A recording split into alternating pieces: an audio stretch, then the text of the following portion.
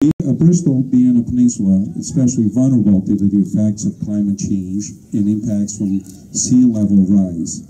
We look forward to the work of the Rhode Island uh, Climate, I mean, Executive Climate Change Council in continued collaboration with the state to help us address these impacts.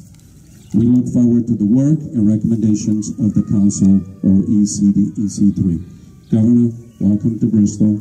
Thank you. So there's no doubt that climate change and extreme weather are occurring. I think we can all finally agree on that. And we're here in Bristol because of uh, excessive storms, a lot of rainwater, and as Tony said, this beach was closed maybe 10 times a year, 4 to 10 times a year. And last year, as Tony said, how many times? Zero.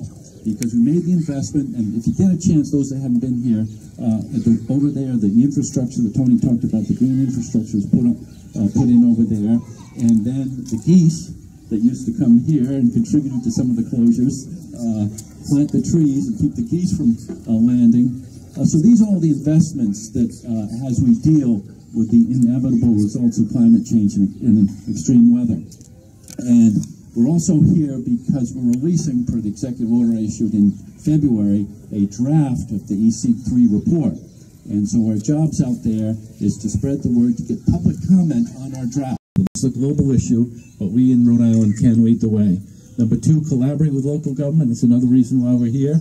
Federal government, private sector, and higher education. Number three, pursue economic opportunities. There are economic opportunities with extreme weather and climate change. Let's take advantage of those.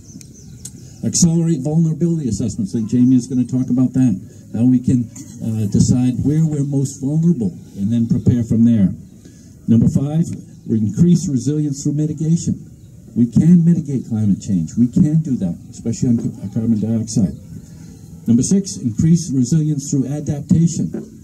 Let's prepare. It is coming. Let's prepare. Number seven, coordinate scientific and technical support.